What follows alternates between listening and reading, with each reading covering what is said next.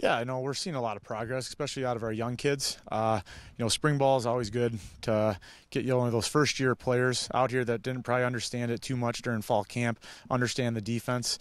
Uh, so you know, you see it over the first, you know, one to six practices. You know, we're making a lot of strides. You know, we got some different things going on defensively, but uh, you know, there's some strides going on. You know, we're kind of focusing on hey, trying to take away the ball, trying to get more takeaways, and you know, just basically working on the fundamentals. You know, tackling, shedding blocks getting off, um, understanding leverage, those types of things right now. At the end of spring ball, basically, I want to make sure we're a better defense than we came in in the 2019 spring. And, you know, like I said, a lot of it is fundamentals with getting off blocks, um, tackling better, and understanding that, hey, we have to get turnovers. You know, it's not good enough to have one turnover each practice. We got to get the ball out three to four times. And, you know, if we can do that, if we can be better tacklers, understand our leverage better, then, hey, we're going to be a better team come 2019 fall season.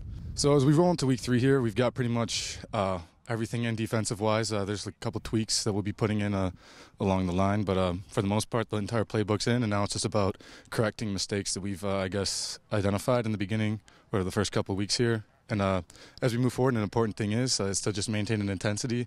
like it's very easy to come out on the first couple of practices and hit and have a, have a blast, but now as we're getting into practice uh, like the double digit practices here, we got to make sure we're still coming with the same intensity as if it's day one.